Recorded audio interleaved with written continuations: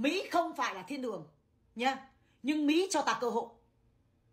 Mỹ cho ta cơ hội vì sao ở bên này bạn chỉ cần chịu khó làm việc, bạn chăm chỉ làm việc, bạn sẽ có tiền. Vì bên này mức lương là niêm yết.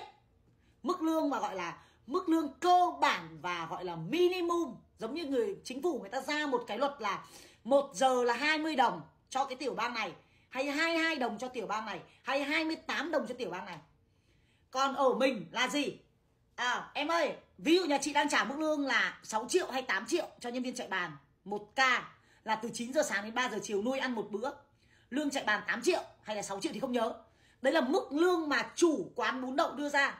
Theo cái định giá về việc quán của mình bán được bao nhiêu, mình sẽ chi trả được bao nhiêu. Đấy là mình tự đưa ra. Còn bên này khác, quán mày vắng cũng kệ mày, nha. Quán mày đông cũng kệ mày.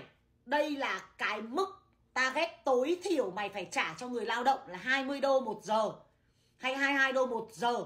Cái này là bắt buộc là mày phải trả như vậy dù quán mày có một ngày không đơn hay là một quán mày một ngày có 10 cái bát bún là việc của mày. Có nghĩa là mày không có cách nào khác. Nên đấy là cơ hội với người chăm chỉ.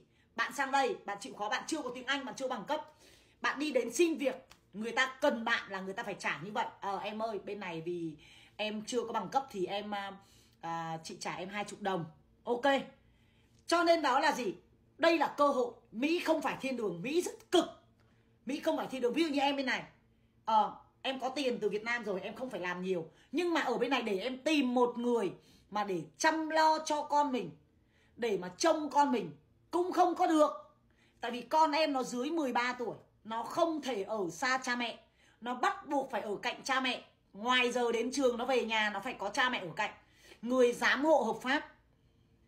Bên này không phải là bạn bảo là ờ cô ơi cô đến chăm con cháu. Người ta không làm điều đó được vì đấy là vi phạm.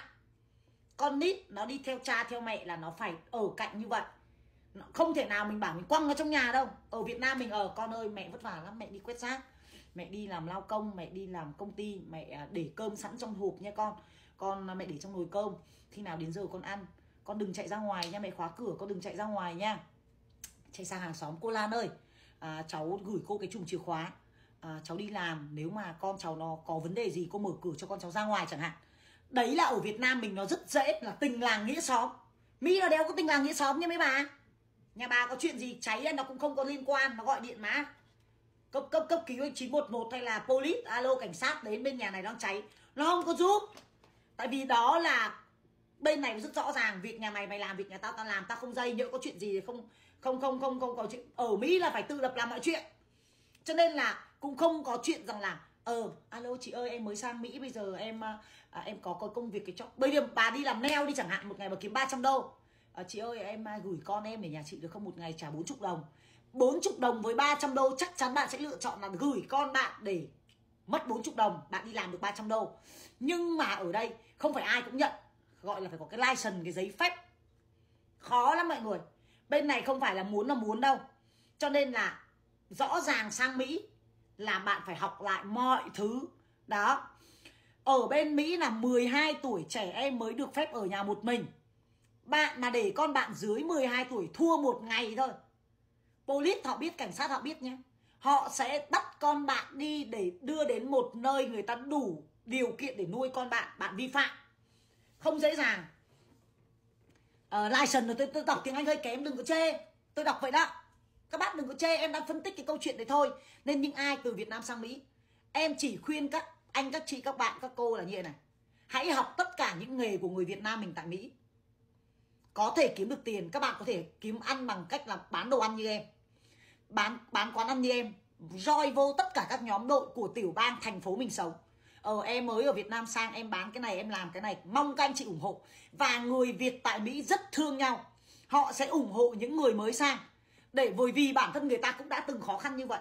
Thay vì người ta làm cái bánh bột lọc người ta ăn, thì người ta sẽ mua của bạn là ba đô hai chiếc bánh bột lọc. Người ta mua ba chục chiếc chẳng hạn ủng hộ bạn. Để người ta ăn nếu bạn làm ngon người ta sẽ ủng hộ tiếp người ta khỏi phải làm. Vì người ta dùng cái thời gian của người ta để người ta đi làm neo người ta kiếm nhiều tiền hơn việc là bạn ở nhà bạn kỳ cọ kỳ cọ từng chiếc bánh. Cho nên đối với mình ý, thì mình thấy rằng là cái cơ hội làm việc và sống tại Mỹ nó không phải là không có mà nó là sẽ rất là dễ dàng với những người chịu khó. Còn lười ý, thì ở đâu cũng bốc cất mà ăn thôi. Đã lười ở đâu cũng bốc cất mà ăn cho nên rằng mình chỉ khuyên các bạn là mới sang Mỹ chuẩn bị sang Mỹ. Đầu tiên các bạn học lái xe. Đó. Học lái xe. Lái xe thành thạo nhuần nhuyễn tại Việt Nam. Cái thứ hai nên học một cái bằng đó là, là bằng làm neo. Cái thứ ba là lên học một cái bằng là bằng, bằng làm tóc. Cái thứ tư mà rất phát triển đó là làm lông mày phun xăm lông mày phun môi. Cái thứ năm các bạn phải học nấu ăn năm cái đó. Năm cái đó các bạn nên học. Để các bạn sang đây các bạn có thể uh, làm việc được liền. Có thể đi xin việc được liền.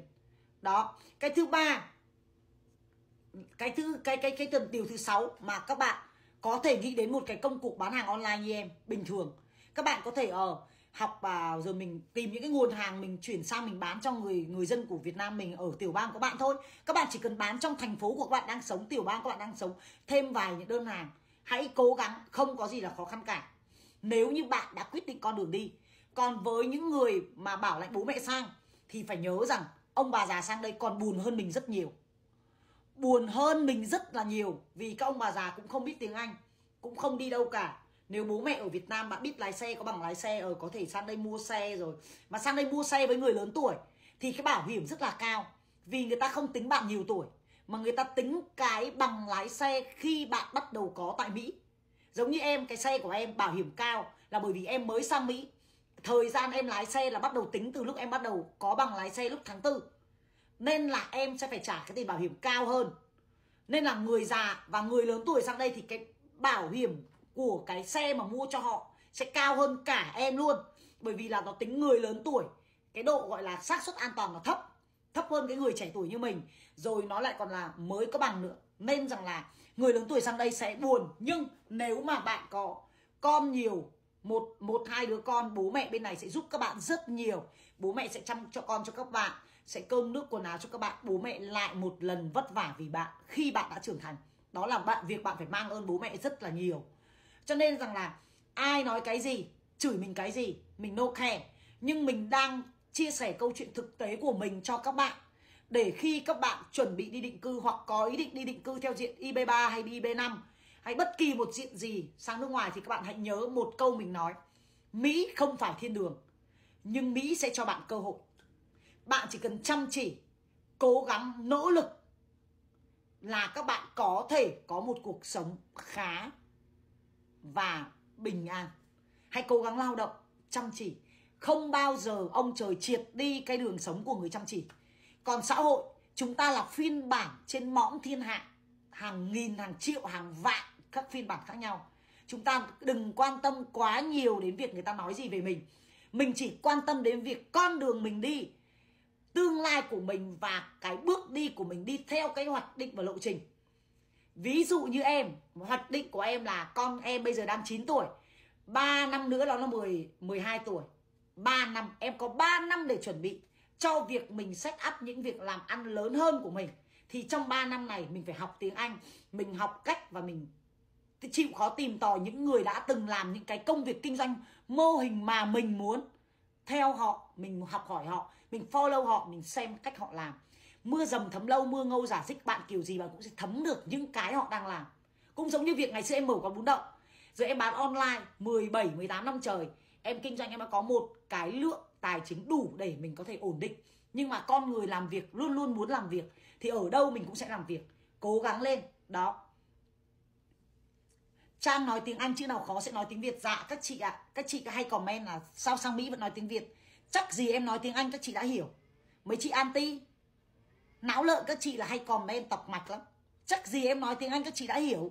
Nên các chị đừng cái giọng đấy. Mình chỉ làm cho người ta thấy mình lố bịch. À, Thôi đi làm neo đây. Đến giờ đi làm bộ móng rồi các bà. Trời ơi má ơi. Nha các bà Bây giờ em đi làm móng. Với cả em đi ờ, mua bò về làm mì spaghetti cho kiến ăn chiều một rưỡi rồi. Bye bye. Bye bye các bà bye bye mà cả nhà nha. Chị không đi làm neo à? Thực tế là chị không khéo tay. Chị không khéo tay, nên chị không làm neo được. Chị sợ chị làm neo chị rút móng của người ta mà mỗi người người ta có một mặc dù cái việc chị đang làm là hàng ngày bưng hàng, đóng hàng, đi ship hàng cho khách vất vả hơn rất nhiều những chị làm neo kiếm được ít tiền hơn các chị làm neo nhưng mà chị vẫn thích làm cái công việc của chị. Vì đó là cái chị muốn chị thích bán đồ ăn, chị thích bán online, bởi vì sao? Chị tin rằng vào một ngày không xa, với cái việc chị bán hàng một cách cẩn thận, từ đóng hàng đến trách nhiệm kiểm soát đơn hàng, trách nhiệm trong công việc kiểm soát nguồn hàng, và bán hàng bằng một cái tấm chân tình. Ngoài việc kiếm tiền mà chân tình với các chị ơi, hôm nay em chưa ship được. Vì hôm nay em ship thứ bảy, em sợ nó không đến được của chị là hư hàng. Thì tội nghiệp cả em mà chị lại mang mang bực mình thôi chị đợi em đến thứ hai em ship thì chắc chắn thứ tư chị nhận. Có nghĩa là cái sự chân tình của mình trong việc mình chia sẻ với khách hàng sẽ nhận được cái sự thương. Người ta thương là ở con này nó mới sang mỹ mà nó cũng biết là ở ship hàng cuối tuần nó hay bị dồn đơn. Và đặc biệt là mình luôn tin rằng trong tương lai mình sẽ có lượng khách hàng đông hơn. Tại vì bây giờ khách hàng của em đã đang rất đông rồi, đã đông lên hơn rất nhiều so với 4 tháng trước bán hàng họ đã quay trở lại mua 4 năm đơn hàng, có người mua mười mấy, hai chục đơn hàng. Đó là một sự khẳng định là gì? Sự cố gắng của mình sẽ có kết quả. Và cái công việc bán hàng online của mình trong 3 năm tới, nó sẽ phát triển hơn nữa. Lúc đó mình sẽ giống như ở Việt Nam. Mình sẽ có nhiều tiền hơn.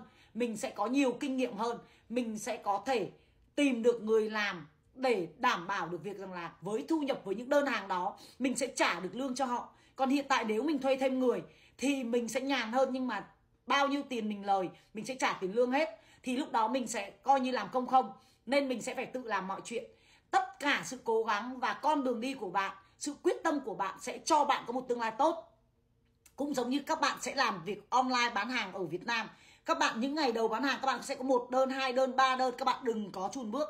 Các bạn chỉ cần nhớ rằng sự cố gắng của mình, ông trời sẽ không đoạt đi cái quyền phát triển của bạn. Hãy cố gắng trung thực mình nhận lỗi với khách hàng nếu mình sai. Mình hãy chịu trách nhiệm với những đơn hàng nếu nó bị hư hại là do lỗi của vận chuyển và do lỗi của phía mình. Khách hàng không sai bởi vì họ đã trả tiền cho bạn, họ đã mua hàng của bạn là họ cho bạn một cơ hội, cho bạn một bát cơm. Cho nên nếu như sự sai sót từ đơn hàng của bạn là chắc chắn từ phía bạn và vận chuyển, bạn phải đền hàng cho khách, bạn phải xin lỗi khách và tìm cách giải quyết một cách thỏa đáng. Cho nên rằng là đối với em em sẽ luôn luôn cầu tiến và em tin rằng là có thể tại thời điểm hiện tại thu nhập của em thấp hơn các chị đang đi làm neo nhưng em tin và hy vọng rằng trong tương lai với cách làm việc của mình thì em sẽ có thêm nhiều khách hàng từ những khách hàng hiện tại đang có tệp khách hàng đang có. Và họ sẽ à, giới thiệu khách hàng cho mình và đó điều đó em đã đang làm được. Nên em nghĩ rằng là em mới bán hàng có 4 tháng à? Em mới bán hàng có 4 tháng thôi. Em tin rằng là 4 năm sau các chị sẽ nhìn thấy em khác và đó là cái điều là chắc chắn chứ không thể nào lùi bước được. Nên các chị yên tâm, nếu như thật sự em có em có cái sự khéo tay ấy, thì em đi làm neo rồi. Em không có khéo tay, em chỉ có sức khỏe, em chỉ có chiến thuật, em chỉ có cái mồm để em ăn cái gì ngon, em muốn cái gì, em bán cái gì. Và em có một cái khả năng ăn uống làm cho người ta bị kích thích. Đấy là khả năng đặc biệt của mình. Chứ mình, thật sự các chị bảo nhìn em này, em mà rũa với cả cắt cho khách kiểu gì cũng cắt chật móng tay em sẽ cắt kiểu gì chảy móng tay của khách khổ lắm. Các bác hiểu không? Các gì nhìn tay em này, trông ghê không? Đấy, người ta sơn cho em đẹp mà em ngồi em cũng gậy, cậy cậy cậy cậy. Hồi trước em có ăn con bún đầu của chị quận 1 gặp chị ở ngoài thân thiện hài hước, cảm ơn em. Cảm ơn em rất nhiều. Cảm ơn em đã ủng hộ chị, để chị có một cuộc sống đủ đầy tại Mỹ hiện tại. Tất cả những khách hàng ăn bún đậu của em tại Việt Nam là những người đã giúp đỡ em rất nhiều trong thời gian đầu em bán hàng để em có tiền em mua thêm bàn thêm ghế mua thêm nhà mua thêm đất mua thêm xe em cho thuê này kia để em có được cuộc sống hôm nay. Đó là sự em luôn biết ơn khách hàng của em. Chưa bao giờ em từ chối việc mình phải mang ơn những khách hàng của mình. Ngoài việc mình bán hàng là 50 50 bạn có tiền tôi có hàng thì mình vẫn phải mang ơn khách bởi vì sẽ có những lúc bếp nó làm ăn nó bị ẩu. Hay nhân viên làm ăn nó bị uh, uh, khét cái này cháy cái kia. Khách hàng nhắn tin trang ơi hôm qua chị ăn đậu bị khô. Dạ em rất xin lỗi chị. Em rất xin lỗi chị vì sự cố này. Mong chị quay lại, khách hàng quay lại, ồ, ok rồi đó trang, mọi thứ ổn định lại rồi. Tất cả sự kinh doanh của chúng ta sẽ đều có sự cố. Và nhất là việc kinh doanh dựa trên sức lao động của sức người, nó sẽ không bao giờ có sự chính xác như máy móc. Cho nên việc bạn gặp sự cố, bạn hãy để thể hiện cho khách hàng thấy rằng là ờ cái sự cố này là lỗi của em. Nhận lỗi từ phía mình, để các bạn có thể cải tiến tiến bộ hơn. Bây giờ em đi ờ, chợ mua đồ đây. Ha. mai em lại livestream lại các chị. Ôi trời ơi mấy chị anti ở trên top top các chị có vẫn thấy vất vả không? Em cảm ơn chị, chúc em luôn sức khỏe, cảm ơn chị. Một lời cuối khuyên với bạn đi tiktok này. Hãy tập trung vào làm việc của mình. Đừng tập trung cào phím trên mạng xã hội. Việc các bạn cào phím không ra tiền cho các bạn và cũng chẳng ảnh hưởng hưởng lồn gì đến cuộc đời của em. Đó, đang tử tế và chửi vào mặt tất cả mấy đứa chúng mày có ghét tao bất kể một phiên bản nào cả. Hiểu vấn đề chưa? Các mấy bé tiktok. Các bé yên tâm. Chị là một trong những người cứng nhất trên mạng xã hội. Đéo quan tâm đến mồm thiên hạ. Bởi vì đối với chị là các bé, mình là một phiên bản trong mồm người khác. Quan trọng cuộc đời của mình chính là bước đi của mình và thành quả của mình cộng với việc hàng ngày mình sống sao. Cho nên việc chúng mày theo dệt nói cái gì, bịa đặt cái gì, vu khống cái gì, chửi bới cái gì, đéo có giá trị lồn gì với cuộc đời của tao. Phải nói bậy cỡ đó mới vừa lồn với chúng mày. Chứ còn nếu như mà nói tử tế dạ các chị có nói cái gì đi chăng nữa? Em vẫn sống cuộc đời của em. Em vẫn mỗi ngày ăn cơm ba bữa quần áo mặc cả ngày, tắm một lần một ngày. Và đặc biệt nách em không thâm, nách chị có cái gì đen? Không phải là đen, mà là lông lắc chưa cạo các bà hiểu không? Lông lách chưa cạo chứ đen là đen thế nào? Đây đây là Snow White trắng nách 350 nghìn bán tại Việt Nam. Ở Mỹ là 23 đồng mà đang chưa có hàng. Cạo lông lách. Đó. Nhìn thấy chưa? Làm gì có nách đen. Mấy cái lông chưa cạo. Ok. Ok chưa các chị? Ok ok ok. Sáng ngày ra ngủ dậy các bạn nhớ bôi một lớp lăn lách, làm cho lách của các bạn trắng hơn, giúp các bạn tự tin với ngày hè. Tự tin với ngày hè. Xoa xoa xoa xoa. Tự dưng phim live hạn chế với một lượng khán giả. Ối rồi ôi, khổ ghê vậy đó. Đó, lau. Các bạn nhớ mua hàng nha. Mắt bẹn mông, bị thâm, yên tâm, có Snow White em dùng 8 năm rồi. Đó. Xin tiền chồng đi triệt chứ cạo gì em ra. Lông lông nó là một vòng tuần hoàn anh chị ạ. Lông là như mao lông là như tóc ấy anh chị. Mình có cạo à dạ em là ít lông em không thích triệt. Nó tạch tạch tạch em nghe tiếng động để em sợ. Trong khi em có con dao cạo, em cạo một cái rẹt em có ba cọng lông háng à quên ba cọng lông lách chứ có nhiều đâu. Các chị khổ khổ nhìn hông em cái nách của em này ừ còn đâu để xuống đây thì đéo nách đéo ai chả nhăn. Ôi rồi, ôi. Nào, các bạn mua hàng nhắn tin em nha. Thôi, em đi chợ mua đồ đây. Chúc mọi người ngủ ngon. Chúc Atifan có một giấc mơ bão tố. Hãy mơ về trang và những giấc mơ đéo đẹp. Chúc những người yêu quý trang ngủ ngon giấc và sáng mai tỉnh dậy một ngày mới tốt lành. Chúc cho những người ghét em địt bại ghét em đến chết em thích vô cùng. Đừng bao giờ từ ghét mà chuyển sang quý em. Em đéo ưng. Em thích mấy đứa ghét em. Ngày đéo nào cũng phải vào chửi em vài câu cho chúng nó mất thời gian chơi vậy đó. Còn kệ con mẹ chúng mày. Chó cứ sủa dòng người cứ đi. Bye bye. See you again. Nice to meet you. Thank you so much. Hey, everybody. Thank you. Chào trung hiếu.